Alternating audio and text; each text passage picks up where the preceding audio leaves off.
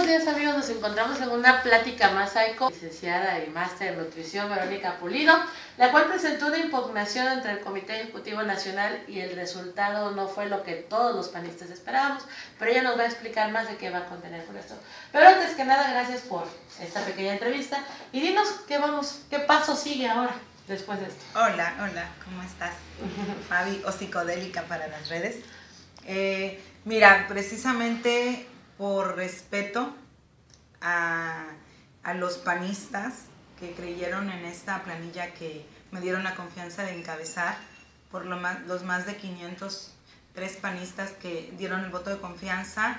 Eh, estamos dando este curso a la impugnación, ya que el Comité Ejecutivo Nacional, específicamente en la comisión interna, pues no le dio validez a todas estas pruebas, todo, todo lo que consta, la impugnación, y que bueno, eh, le deja el paquete a los tribunales porque el comité lo que hizo fue avalar eh, que eh, se dieron, cómo se dio a cabo, cómo se llevaron la elección y que bueno, tengo la oportunidad de meter un juicio electoral de derechos ciudadanos, donde me permiten nuevamente poner eh, las pruebas que, lamentable, ¿verdad?, que la comisión no haya tomado en cuenta, pruebas técnicas como son los testimonios de militantes validados por un notario que estuvo el día de la jornada, eh, las pruebas de los videos y de las fotos, donde bueno, ahí se ve todo lo que vivimos el 9 de febrero y que lo principal eh, que no se respetó, como marca el código electoral en un centro de votación, eh, votó gente sin, para empezar, que hubiera listado nominal, donde se hubiera la certeza y que se verificara con credencial de elector en mano o de militante, eh, que era esta persona quien fuera a tener el derecho al voto porque aparecía en un listado nominal. No fue así, le dieron la cédula de votación a cualquiera que llevaba un gafete, que sabemos que los estuvieron imprimiendo, entonces no hay una certeza.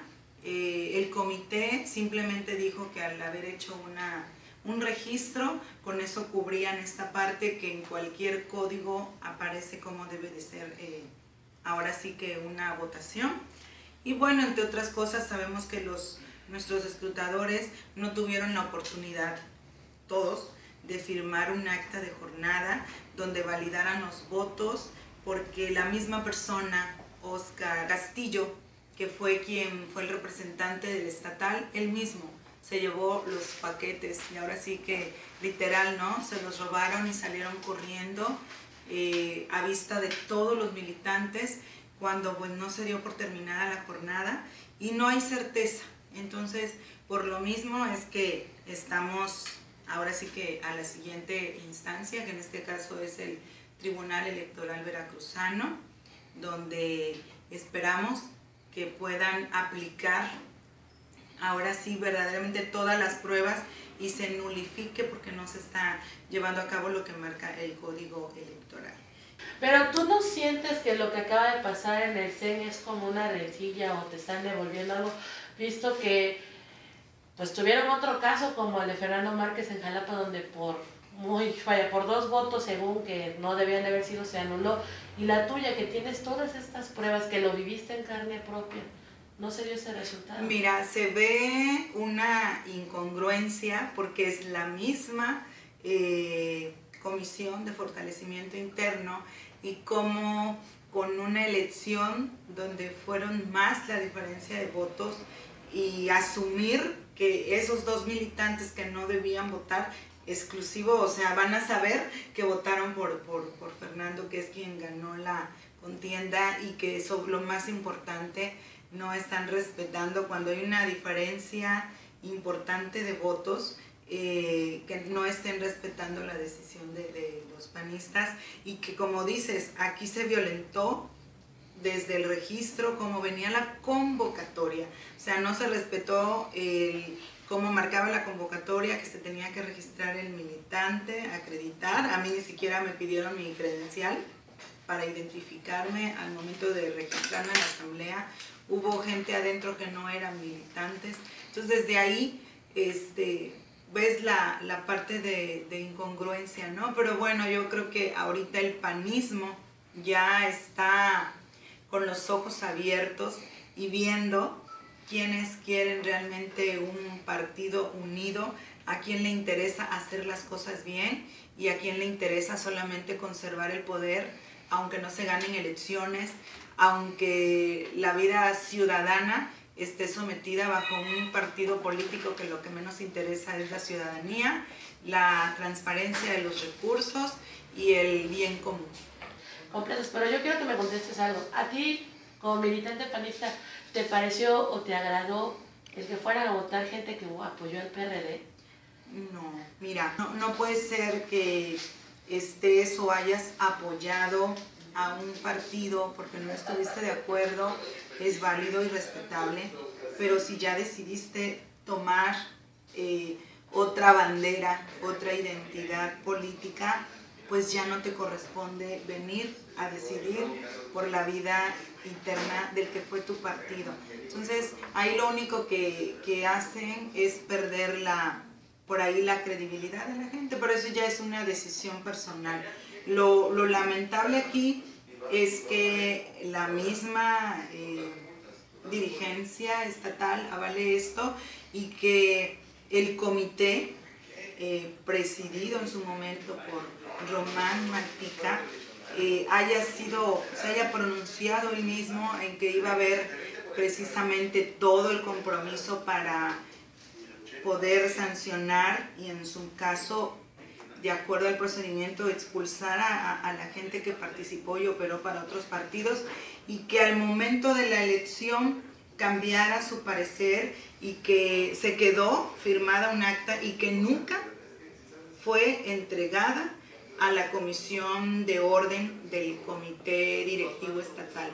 Por ende, no cumplió con la militancia que en su momento eh, contribuimos varios a que se juntaran las pruebas, el comité avaló hicieron todo, se hizo todo un trabajo para que al final, como convenía precisamente a Román Mantica y a todos sus afines, el que les dijeron a la gente que fueran a votar y que entonces no los iban a sancionar. Con eso tampoco se juega. Ahorita el panismo está viviendo su primera elección interna para dirigente nacional. Tú como panista veracruzano, ya no hablemos a nivel municipal, sino a nivel estatal, ¿confías en que tu voto va a llegar bien? Porque si así como te, están, te trataron el día de tu elección interna, ¿no crees que ahorita para la elección entre Madero y Cordero suceda algo igual? Mira, la confianza no está. Están las mismas personas que organizaron toda la jornada electoral del 9 de febrero. No, no hay esa, esa certeza o esa confianza, pero lo único es que al no ser candidata, me permite más estar al pendiente y ojalá tenga la oportunidad de, estar dentro de las mesas de, votación porque ahí es donde puedes eh, cuidar más el voto. La ventaja es que aquí vamos a estar cuidando, que como quieran hacer la elección, tiene que estar el estado nominal y si no, llevaremos nosotros el padrón para estar verificando que la gente que entre a votar sea la que aparece en el padrón y la identificación. Y además que como es más en corto, todos, la mayoría, nos conocemos y no vamos a permitir que vote gente que no esté dentro del partido. Muy bien, Vero, te agradezco mucho que me hayas dado este espacio para que todo el mundo conozca lo que no te quedas callada, que sigues luchando. Así es. Y luchas por el pan, que es lo más importante. Así es, y por los panistas. Y sobre todo porque se respete su voto y su decisión. Muchas gracias por este espacio. Bueno, ahora vamos a ver el lado jurídico, ya vimos el lado político, porque muchos se van a preguntar si esto realmente tiene base, si tiene para darse y para seguir adelante. Con nosotros el licenciado Jorge Winkler, abogado de la maestra Verónica Pulido. Licenciado, ¿hay para poder hacer un juicio? ¿Sí se hay para esto? ¿Sí, sí tiene una base sólida? Hola Fabiola, mira, claro que sí, te comento rápidamente, este, amigos. El, tema principal en que se sustenta este juicio de protección de derechos políticos electorales deriva de la resolución que emitió de manera intrapartidaria el Comité Ejecutivo Nacional del PAN a una impugnación que presentó la maestra Verónica Pulido por la asamblea que se verificó hace unos meses aquí en Veracruz, el día 9 de febrero, si no mal recuerdo. El CEN lo que hace al, al analizar la impugnación simplemente señala lo siguiente. Primero, omite atender y valorar todas las pruebas entre los videos, las fotografías, las notas periodísticas, todo, la clonación de gafetes, de credenciales, omite. No valora, no dice nada al respecto. Lo único que hace el CEN es, señalar lo siguiente.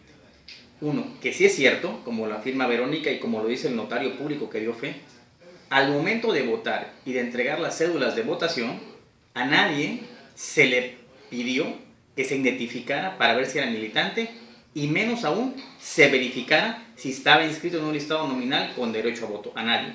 Que solo bastaba traer un gafete que dijera que era delegado para efecto de tener acceso a una cédula y poder sufragar.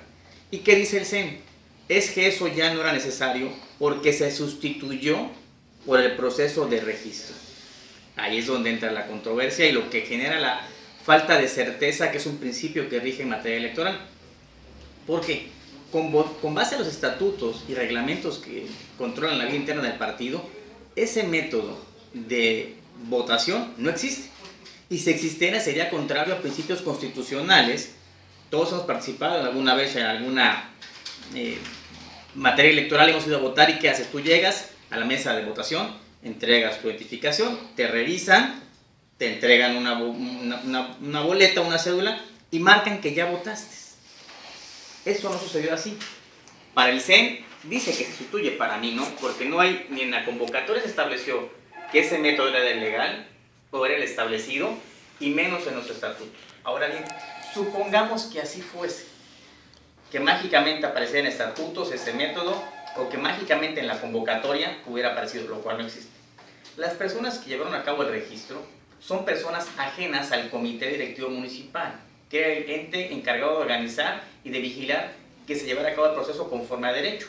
En consecuencia, ninguna de esas personas tenía la facultad ni la competencia para llevar a cabo un registro de militantes. Menos aún tenían fe pública para cerciorarse de que realmente quien se presentaba al registro fuera militante y tuviera derecho a voto.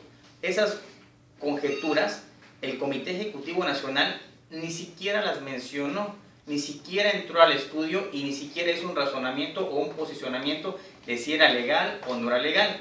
Eso queda pauta a que se haya vulnerado en materia legal lo que se llama el principio de exhaustividad en materia de resoluciones jurisdiccionales. ¿Por qué? Porque no se dio respuesta fundada y motivada a un punto que era medular en la impugnación Vera.